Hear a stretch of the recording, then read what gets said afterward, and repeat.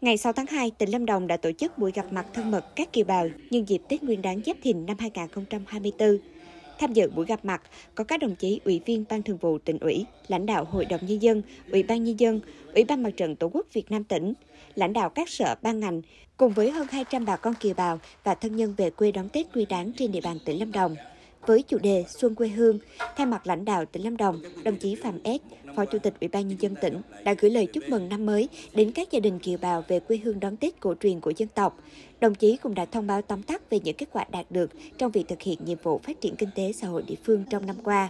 Đồng thời khẳng định để đạt được kết quả đó là do sự chỉ đạo sâu sát từ phía chính quyền địa phương và sự đồng lòng của các tầng lớp nhân dân tỉnh Lâm Đồng và phải kể đến sự đóng góp không nhỏ của kiều bào thông qua các chương trình hợp tác phát triển kinh tế, các dự án đầu tư.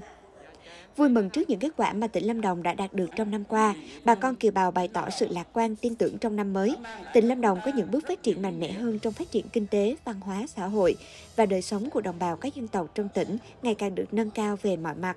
đồng thời chia sẻ những tâm tư của người dân xa xứ, mong muốn tỉnh tiếp tục tạo điều kiện thuận lợi để kiều bào đầu tư về kinh tế, góp phần xây dựng và phát triển quê hương.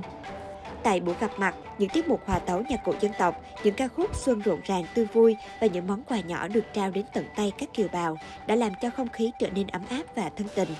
Đây là dịp để thắt chặt tình cảm giữa những người con Lâm Đồng ở nước ngoài với quê hương, động viên khuyến khích bà con kiều bào hướng về cội nguồn dân tộc, hiểu thêm về những giá trị văn hóa để từ đó góp sức xây dựng quê hương phát triển phồn thịnh.